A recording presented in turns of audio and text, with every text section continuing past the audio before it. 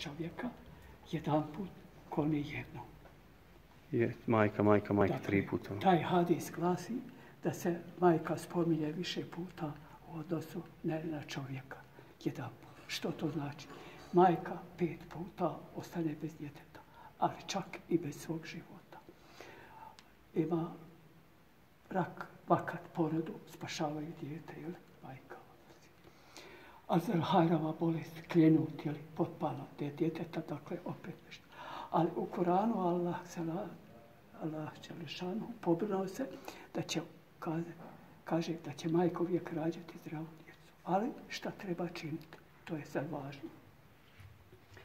Kad već sretno donese dijete na svijet, pa dijete počine puzati nogama i rukama, jeli, malo od majci gore na, jeli, su žene, malo ocu ovdje, to je idealno.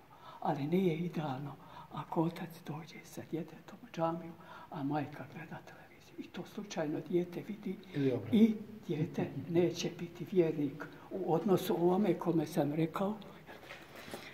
Jer pošlu, sad se opet poslužio ovaj a, akademski zigar Borugđija, citatom iz Kurana i krebismera Bekel Salak uči i traži nauku i on je ovdje prenio taj dio majčinog tijela. Savršena nauka i islam.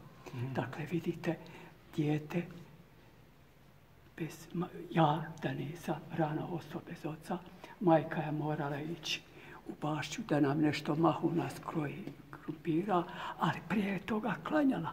I moje djetje oči ovolike su bile, jeli? Vidio sam majku da klanja. Ja i danas to radim. Pazite sad.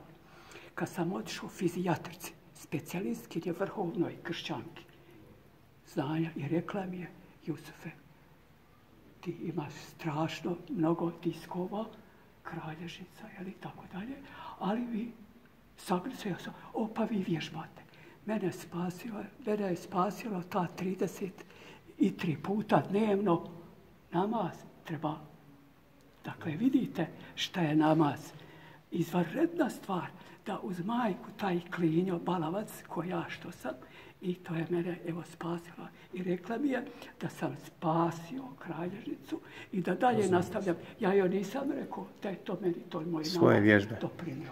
Vidite što je nauka, ali to je samo dio. nagradi u Kabuli. Daj mi reci Ja. kako, s A, čim- s čim se ti- Ispovijest, Jusufa, prezime, jeste vi iz Bosnić. Bosnić, iz Bosne porijeklom. Živite iz Brekovice. Moj glamoča kad rodio u E, Bosniša ima i kod nas. Svako dobro. Čekajte, čekajte.